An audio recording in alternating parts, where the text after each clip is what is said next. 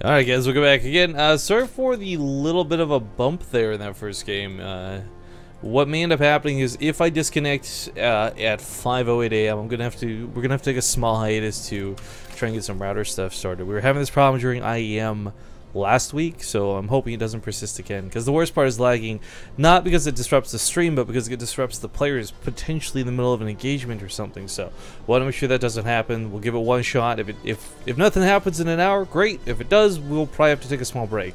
Uh, but we are in game number two. It's the first best of three of the day. It's the Olimo League. And spawning here in the bottom left corner of the map, playing for CM Storm, it is Revival. It leads the series 1 0. Yeah, but Never of the blue Protoss, it's Axiom's Alicia. So I didn't realize, like I looked at the brackets and I know I saw some names that stuck out to me like GuMiho and such. I didn't realize Departure was playing in this. I'm actually uh, uh, pretty excited. I'm a little bit sad we're not casting Departure versus Salvation because Departure's uh, oh. shown some pretty fun games lately. But uh, as I look at the brackets here, also Panic takes out Seed 2 0. That's uh, I wouldn't call, I would call that um, I would not call that an upset or anything, but still uh, a little bit sad to see Seed go out so early. Oh, Seed! I heard Seed 2-0, and I was like, what the? F-? no, like Dign and that was the Seed. Yeah. Two zero. He had it. uh, lots of other good matches have. Oh God, GuMiho versus Center. Uh, there's there's a lot of cool ones in here. I think Arthur versus Impact would have been another good one to watch. But of course, uh, as the best of threes continue, guys, we'll be getting into the quarterfinals after this, and uh, more and more good matches are coming. Mm. So I have Alicia, you know, not going for that that Forge first, and actually going for Forge at all. That's Ooh. for Gateway Expand.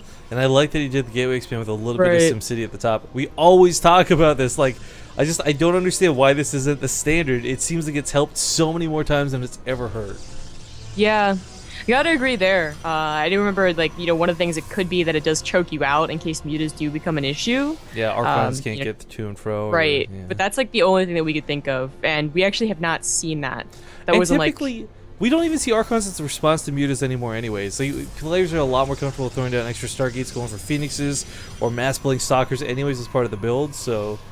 Yeah yeah. So, yeah, I, I, definitely like this, especially on merry-go-round, where a mutas really aren't that common. I mean, they're still used, but it's not the best map for it. Uh, and b, it is small, so we do see a lot of those like you know early pool, early gases, um, to really punish.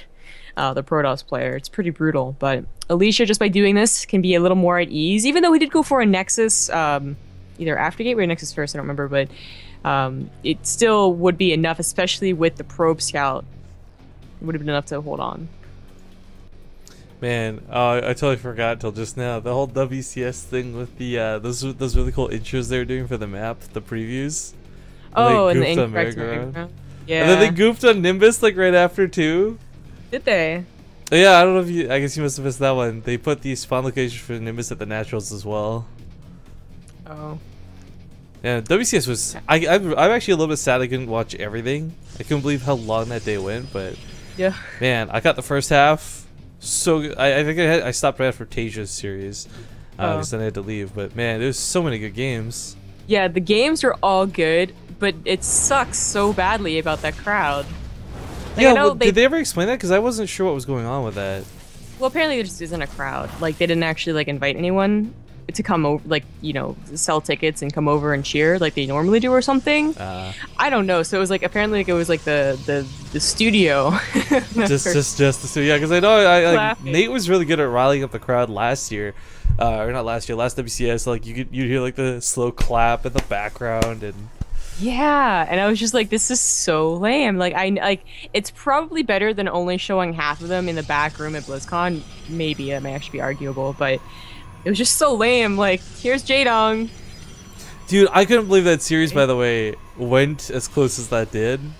Oh, Jaedong versus Bomber? Yeah. Trying yeah. trying not to hit spoilers because I guess it is oh. still fairly new, but that was uh that was that was one that I expected to be way different in score. That freaking fifth game, I can't Ooh. even don't even don't even talk to me. Uh, yeah, so it's a lot of gateways coming down going for a uh, two base gateway all in. No tech other than just you know a plus one. Well, this is gonna be. Oh, go ahead. it didn't really work last time though. Like he got caught so early, he had to recall back right Well- away. That was on three base.